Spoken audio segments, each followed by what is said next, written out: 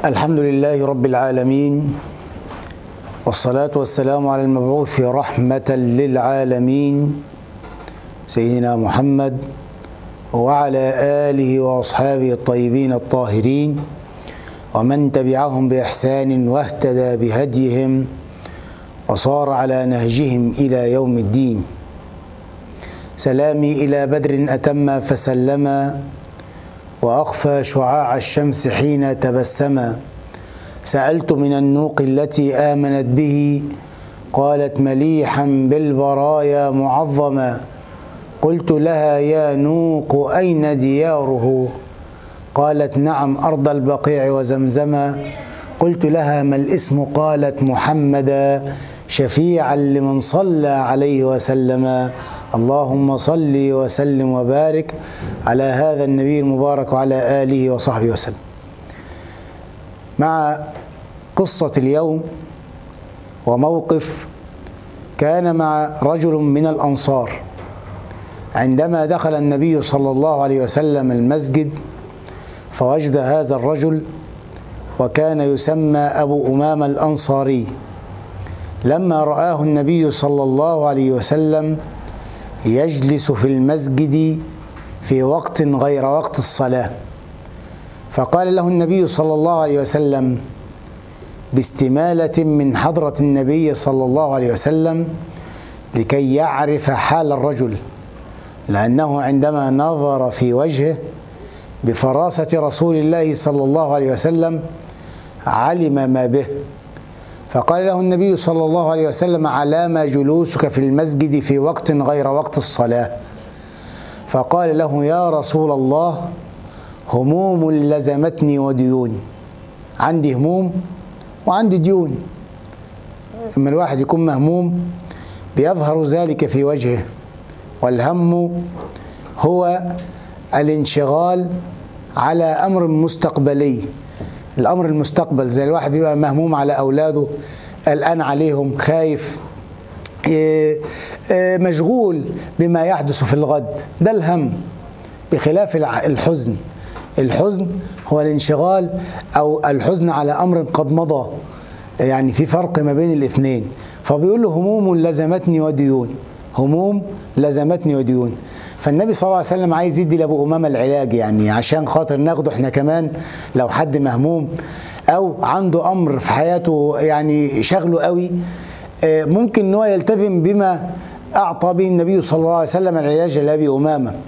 فقال له النبي صلى الله عليه وسلم ألا أدلك على ما يرفع عنك همك ويقضي عنك دينك؟ أقول لك علاج يرفع عنك الهم. ويقضي عنك الدين. ها تعال نشوف النبي صلى الله عليه وسلم قال له إيه؟ قال بلى يا رسول الله سيدنا أبو أمام عايز إيه إيه العلاج اللي يخرجه من هذا الأمر؟ قال له النبي صلى الله عليه وسلم إذا أصبحت وإذا أمسيت يعني في في الصباح وفي المساء إذا أصبحت وإذا أمسيت فقل. هيقول إيه بقى؟ فقل اللهم إني أعوذ بك من الهم والحزن وأعوذ بك من العجز والكسل وأعوذ بك من الجبن والبخل وأعوذ بك من غلبة الدين وقهر الرجال. اللهم إني اعوذ بك من الهم والحزن يمكن الدعاء كتير منا حافظه ولكن بيغفل إن إحنا الإنسان يذكره يعني. اللهم إني اعوذ بك من الهم والحزن وأعوذ بك من العجز والكسل وأعوذ بك من الجبن والبخل وأعوذ بك من غلبة الدين وقهر الرجال. يقول سيدنا أبو أمامة بعد أن ذكر هذا الأمر له النبي صلى الله عليه وسلم يقول والله ما إن التزمت بكلام رسول الله صلى الله عليه وسلم إلا ورفع الله عني همي وقضى عني ديني. شوف بقى الالتزام بالمنهج النبوي وبسنة رسول الله صلى الله عليه وسلم بأنه عندما التزم بهذا الدعاء في الصباح وفي المساء رفع الله سبحانه وتعالى عنه الهم وقضى عنه الدين. ما أحوجنا في هذه الأيام أن يلتزم الإنسان بالدعاء بهذه الصيغة مثلا. إذا كان مهموما أن يقول اللهم إني أعوذ بك من الهم والحزن وأعوذ بك من العجز والكسل وأعوذ بك من الجبن والبخل وأعوذ بك من غلبة الدين وقهر الرجال. في الحلقة الماضية كنا نتكلم عن أهمية الدعاء فهذا نوع من الدعاء الذي من الممكن أن يتحدث به الإنسان أو يتضرع به الإنسان لله سبحانه وتعالى صباحا ومساء. هل هناك أمور أخرى قالها النبي صلى الله عليه وسلم بأنها ترفع الهم؟ نعم. الاستغفار يرفع الهم. فالنبي صلى الله عليه وسلم يقول من لزم الاستغفار جعل الله عز وجل له من كل هم فرجا ومن كل ضيق مخرجا ورزقه الله من حيث لا يحتسب. ده الاستغفار يفتح أبوابا كثيرة ويفتح أبواب الخير كلها. لما تيجي واحد يجي لأحد الأئمة يقول له كل شيئا فإني مهموم. قال استغفر الله. أريد أبناء قال استغفر الله. أريد رزقا قال استغفر الله. قال أفي كل أمر يقال بالاستغفار قال نعم. ألم تسمع قول الله تبارك وتعالى فقلت استغفروا ربكم إنه كان غفارا. يرسل السماء عليكم مدرارا ويمددكم بأموال وبنين ويجعل لكم جنات ويجعل لكم أنهارا. هكذا هو الاستغفار. فالاستغفار يرفع الهم. كذلك الصلاة على رسول الله صلى الله عليه وسلم. الإنسان عندما يكثر من الصلاة على رسول الله صلى الله عليه وسلم يرفع الله سبحانه وتعالى عنه الهم. ده ده منين؟ قال لك من من حديث سيدنا ابي بن كعب لما جه للنبي صلى الله عليه وسلم كم أجعل لك من صلاتي يا رسول الله؟ طب أجعل لك من صلاتي التلت ولا التلتين ولا النصف؟ لغاية ما قال في الآخر سأجعل لك صلاتي كلها عليك يا رسول الله أو لك يا رسول الله. فقال له النبي صلى الله عليه وسلم اذا يكفيك همك اذا يكفيك همك. وفي رواية ويقضى عنك دينك. يبقى يكفيك همك معناها أنك إذا صليت على رسول الله صلى الله عليه وسلم وكنت ممن يكثر من الصلاة على رسول الله اذا يرفع الله سبحانه وتعالى عنك الهم. أمور كثيرة.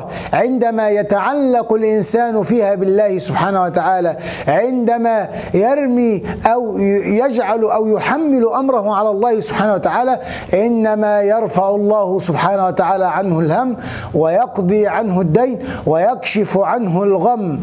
الغم يبقى الإنسان لا في عنده هم ولا عنده حزن ولا عنده غم ويكون بذلك سعيدا. واسمع ما قيل يا صاحب الهم إن الهم منفرج أبشر فإن الفارج الله. يا صاحب الهم إن الهم منفرج أبشر فإن الفارج الله. واسمع أيضا ما قيل ضاقت فلما استحكمت حلقاتها فرجت وكنت أظنها لا تفرج فاعلم بأن الفرج يأتي من الله سبحانه وتعالى ولكن يحتاج منا إلى أن يكون عندنا يقين وأن نحمل أمورنا كلها على الله سبحانه وتعالى.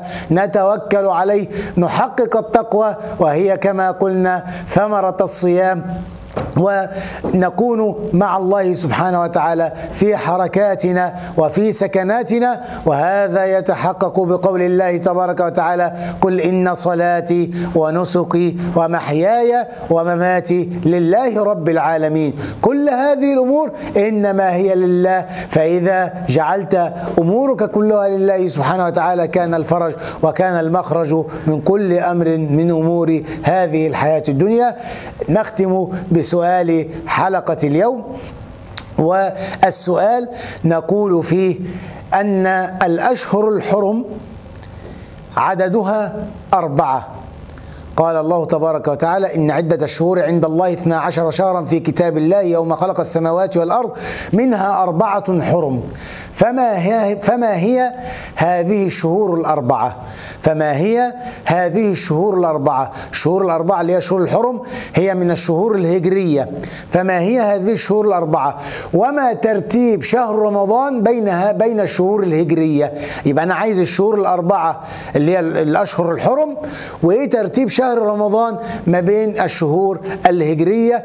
ندعو الله عز وجل أن يتقبل منا الصيام والقيام وصالح الأعمال وأدعو الله عز وجل أن يصلح لنا أمورنا وأن يرفع عنا الهم والحزن والغم وأن يجعلنا من السعداء في الدارين في الدنيا والآخرة وأن يجعل بلدنا مصر آمنة مستقرة وسائر بلاد المسلمين. طبتم والسلام عليكم ورحمة الله وبركاته.